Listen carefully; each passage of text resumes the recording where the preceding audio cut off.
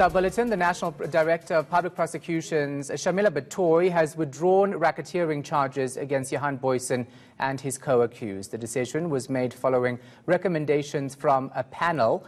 NPA spokesperson Bulelwa Makeke is joining us now live from our Pretoria studio. Bulelwa, thanks for your time. We appreciate it. Shaun Abrahams, of course, was adamant that this go ahead, but Shamila Batohi coming to a different conclusion. Yes, indeed, um, Shahan. That that is um, as a result of a review process that the national director engaged, uh, where she actually put together a panel of four senior officials in the NPA to review uh, all the material that, that would have led to the decision to authorize those racketeering charges. So, so on what and basis did they come to that conclusion? I'm sorry. On what basis did they come to that conclusion that these racketeering charges should be dropped? Okay, on, on the basis of the information and the, and the material that was before them. It's the same material that would have been presented to the two former uh, national directors. In other words, you know, all the information in the, in, in the docket, um, all material re relevant to it, and they actually scrutinized all of that and um, they unanimously concluded that you know on the basis of those papers and material there was really um, not a case made to actually uh, go ahead with authorization. So was it based on a lack of evidence?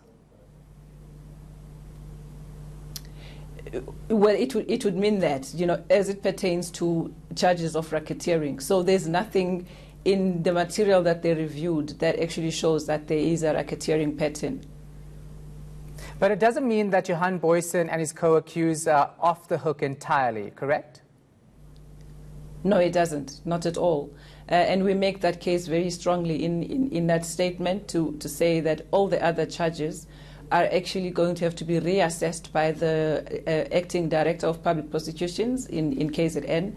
Um, those are predicate offences, including murder, um, you, uh, defeating the ends of justice, possession of firearms, you know, all, all the other charges that, that formed part of, of that entire case. Yeah, and then, of course, the families involved here who want to see justice done, will the NPA be in contact with them? That's very important, Shahan. In fact, that's one of the issues that the national director has emphasized to the director, uh, the acting director in KZN, that she must make sure she makes contact with the family members of all those victims to explain to them that this doesn't mean that this is the end of the matter it is just only with respect to racketeering charges. And she must now reassess all the dockets, all the evidence with respect to each one of them. And where there is indeed um, sufficient evidence, those cases must be prosecuted and, and, and those accountable must be, must be prosecuted. Yeah.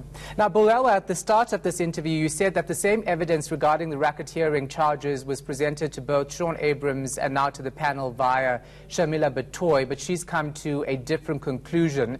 Johan Booysen of course, argued that he was under attack by Shaun Abrahams and that the charges were not warranted. Was he right then, given this decision?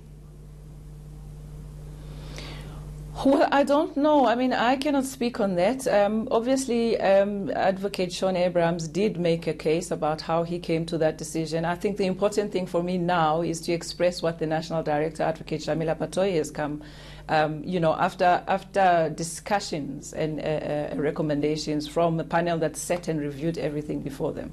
All right, we'll let the public actually uh, decide for themselves and draw the links for themselves. Thanks so much for that. Appreciate it.